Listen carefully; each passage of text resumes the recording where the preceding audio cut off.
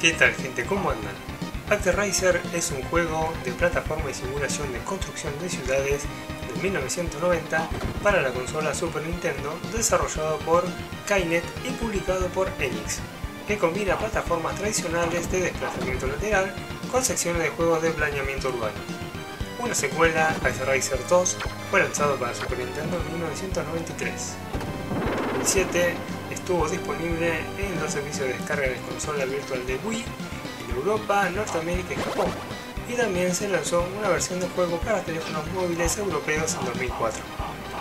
La trama sigue a un dios que se conoce como el Maestro, dios en la versión japonesa, en su lucha contra Tanzra, Satanás en la versión japonesa, también conocido como el Maligno. El Maestro fue derrotado en una batalla con Tanzra y sus seis lugartenientes, el maestro se retiró a su palacio del cielo para atender sus heridas y cayó en un profundo sueño. En ausencia del maestro, Tarra dividió el mundo en seis tierras, uno para cada uno su lugarteniente, y más tarde convirtieron a la gente al mal.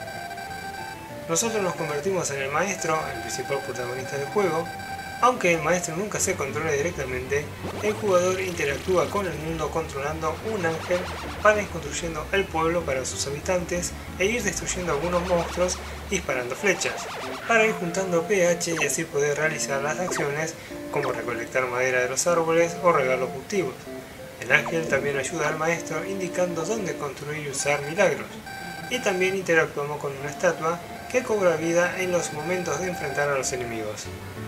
En concreto, el modo de simulación de vista aérea implica proteger y guiar a la nueva civilización del maestro hacia la prosperidad, comenzando con dos humanos solamente.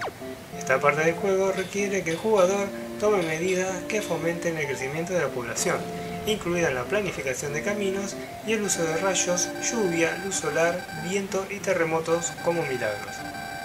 Bueno gente, espero que les haya gustado y será hasta la próxima.